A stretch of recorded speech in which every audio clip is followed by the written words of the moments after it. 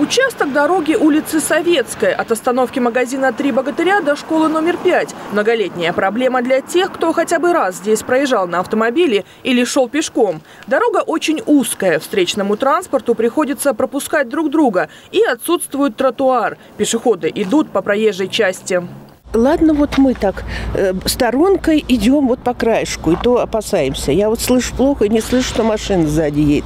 А вот вижу, с колясками идут люди в поликлинику, молодые женщины. Это очень опасно.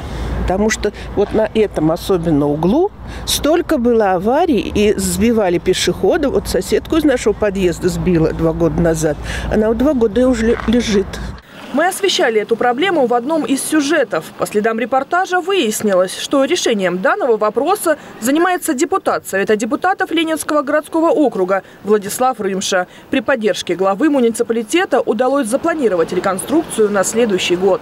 На сегодняшний момент уже готова смета, смета по расширению, по строительству тротуара и освещению данной территории. Я надеюсь, э, что в следующем году, с учетом того, что у нас бюджет будет уже консолидированный вот, э, городского округа, соответственно, мы сможем реализовать этот проект. Во всяком случае, в этом направлении я буду очень серьезно работать. Проект реконструкции технически сложный и затратный. Смета составила более 7 миллионов рублей. Придется переносить столбы освещения, и это не единственная преграда на пути к благоустройству. Но в администрации муниципалитета уверены, все решаемо. Главное – выделить бюджет.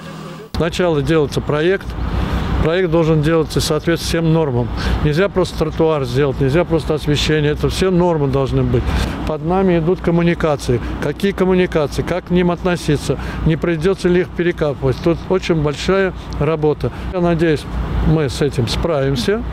Э, проект очень нужный, востребованность есть. Востребованность более чем высокая. Местные жители никогда не теряли надежду, что этот вопрос разрешится, и сегодня они видят реальную возможность реконструировать участок. У нас есть помощники, вот, и администрация вроде как идет на сближение по этому вопросу, проектирование обещают. Дорсервисом мы общались, также они продумывают этот вопрос и так далее, потому что это многолетняя проблема, она Э, стала насущной. Если все пойдет как задумано, депутаты выделят денежные средства, а эпидемиологическая ситуация не испортит планов, то к осени будущего года здесь, наконец, произойдет долгожданная реконструкция дороги. Юлия Погосян, Александр Логинов, Ольга Садовская. Видно этого.